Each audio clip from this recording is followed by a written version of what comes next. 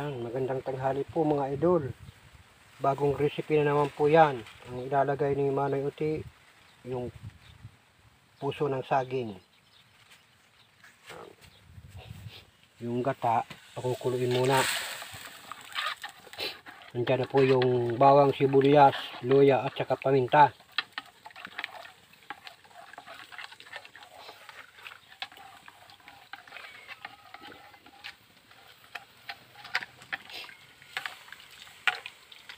Yan, lalawkan pa rin Manoy Uti ng natural ng palaya.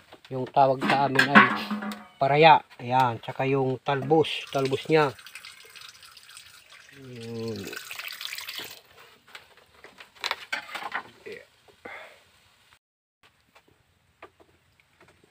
Meron pa kami dong guys na ano na huli yung sa pangang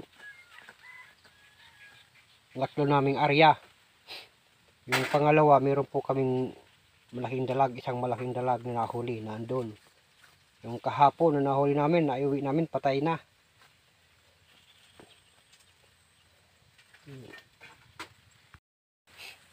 Kalahating nyug lang po yan. Yung kahapon, yung tira kahapon.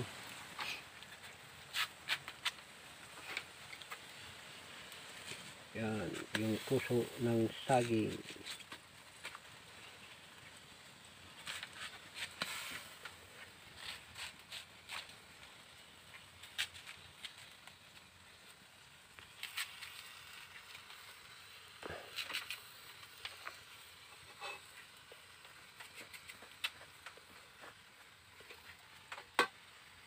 Kasi na eh. Hmm. Ka. Meron ka na? Ha? May, pa- may paminta na.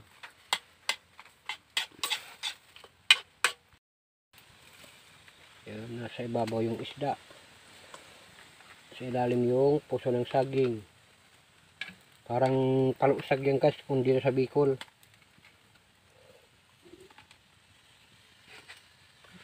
Palusa. Para sa ganawa no eh.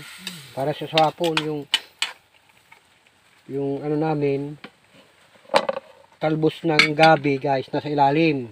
Yung ampalaya sa babaw. Nasa gitna yung isda.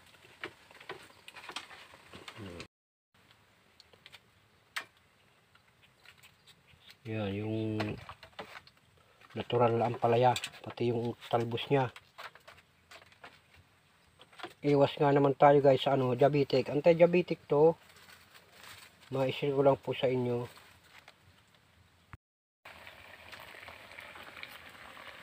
Yan, panalo na naman to guys.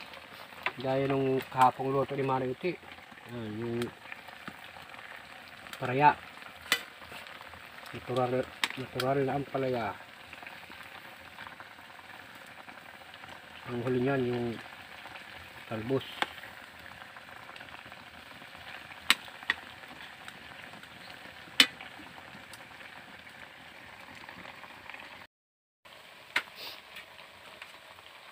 Dagdagan ng asin. Bitsin. Ikaw, Ha? higi. Lalagyan daw ng Ajinomoto. Ang tago na. Hmm.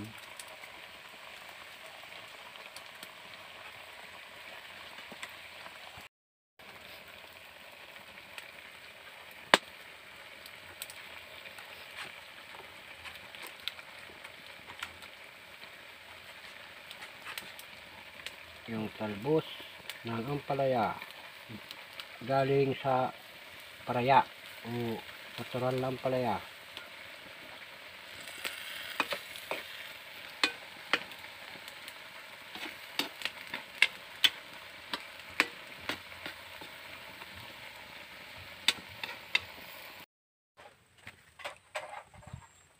dito kami guys nag ano mula dito hanggang doon tatlong area.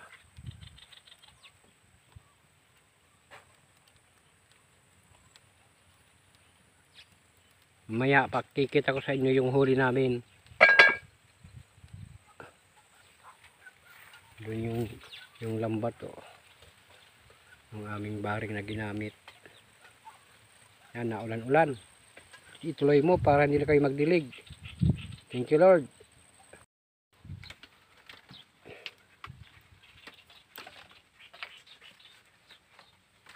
Kainan na guys.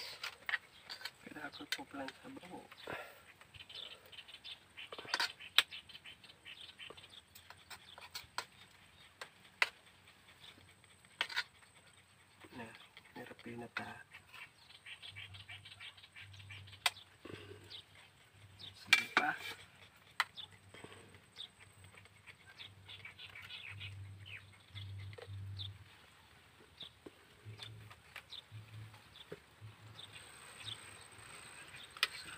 Sabi may sige.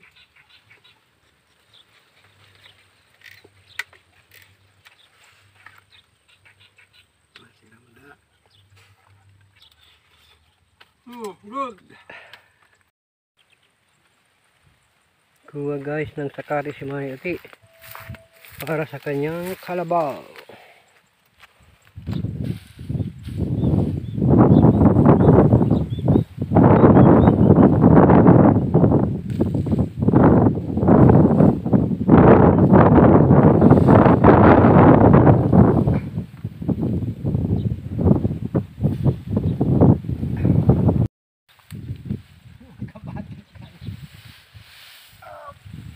这虾很猛的。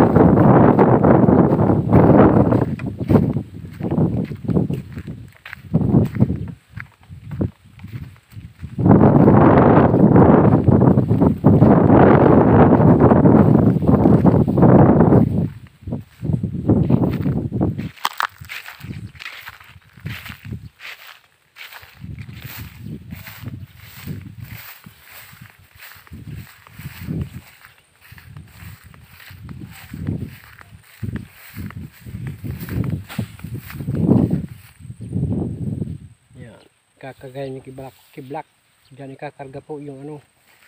Sakati.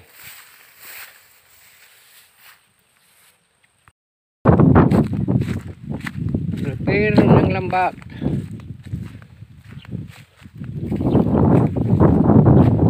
Liligpit muna ang lambat.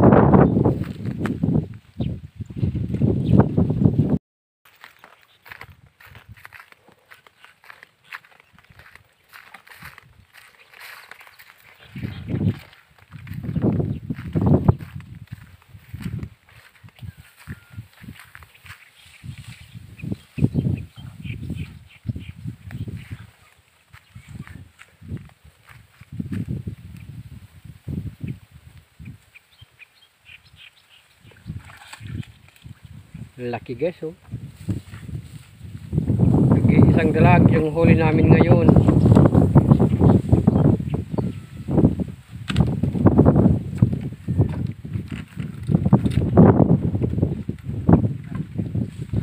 Kakaunting tilapia. Ayan.